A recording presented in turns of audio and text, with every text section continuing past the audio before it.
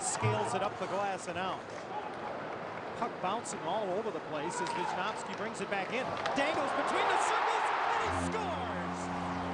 A wonderful individual effort in the first goal as a duck for Lubomir Visnovsky.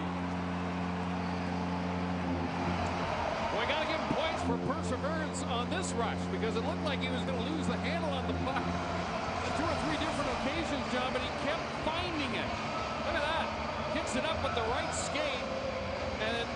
I thought he was going to lose it. Pulls it into the middle, and it's a quick little shot that beats Carey Price to the stick side.